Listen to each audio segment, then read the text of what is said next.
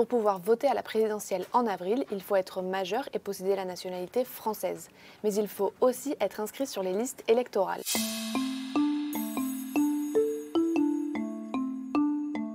Les inscriptions en ligne sont ouvertes jusqu'au 2 mars et en mairie jusqu'au 4. Vous êtes peut-être déjà inscrit. Pour le vérifier, il faut aller sur le site service-public.fr et renseigner commune, nom, prénom et date de naissance. Et si vous n'êtes pas inscrit, plusieurs options. 1. Vous pouvez le faire en ligne jusqu'au 2 mars sur le site service-public.fr ou via France Connect. Il vous faudra une pièce d'identité, un justificatif de domicile, facture internet, d'électricité ou quittance de loyer par exemple. 2. Vous avez jusqu'au 4 mars pour le faire en mairie. Il vous faudra aussi une pièce d'identité, un justificatif de domicile et en plus le formulaire dédié. Vous pouvez également envoyer ces documents par courrier à la mairie à condition qu'elle les reçoive avant le 4 mars. Mais il y a quelques exceptions. Vous avez 18 ans après cette date et avant le scrutin, vous déménagez pour des raisons professionnelles ou vous obtenez la nationalité française après le 4 mars. Si vous êtes dans l'une de ces situations, vous avez jusqu'au 31 mars pour vous inscrire. Tant que vous ne déménagez pas, vous restez inscrit dans le même bureau de vote. Vous le serez donc pour les législatives en juin 2022 et pour les prochaines élections. Pour cette année, les scrutins de la présidentielle sont fixés au 10 et au 24 avril prochain.